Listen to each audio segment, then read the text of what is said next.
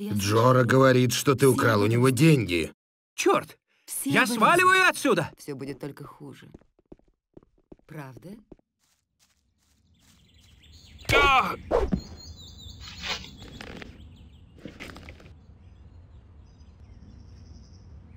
Мы еще посмотрим. Ну и удар у тебя. А, чего ты хочешь? Поймал. Что тебе нужно от меня?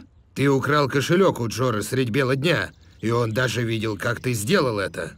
Поэтому я пришел сказать тебе, что ты грязный вор и что... Тебе лучше вернуть золото Джоры. И немедленно. Я бы отдал тебе золото, но у меня больше ничего нет. Ты уже забрал все, что у меня было, после того, как вырубил меня. Пусти. Я заслуживаю долю от награбленного. Я был бы не прочь отдать тебе половину, но у меня больше ничего нет. Ты уже забрал все, что у меня было, после того, как вырубил меня. Пусти.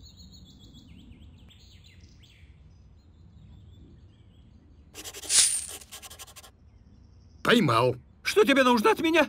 Ты украл кошелек у Джора средь бела дня, и он даже видел, как ты сделал это. Поэтому я пришел сказать тебе, что ты грязный вор и что... Тебе лучше вернуть золото Джоры. И немедленно. У меня уже нет этого золота. Но зачем я говорю тебе это? Ведь это ты меня обокрал.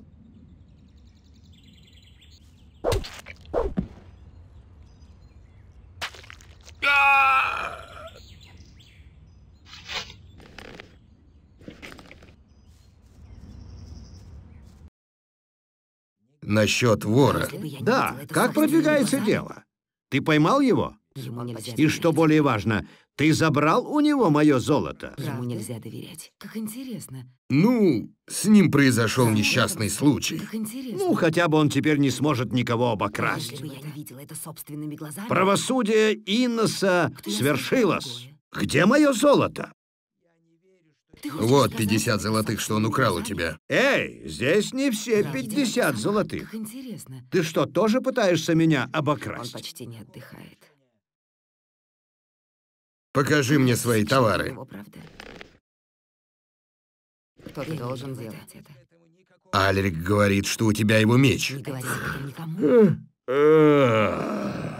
Минутку. Я хотел купить меч. Ты имеешь в виду этого оборванца, что продал мне свое оружие за несколько факелов и кусок мяса?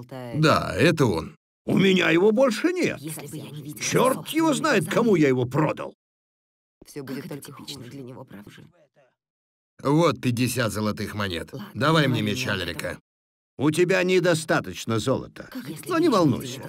Я попридержу пока этот меч. Ну, это. Заходи позже, если хочешь.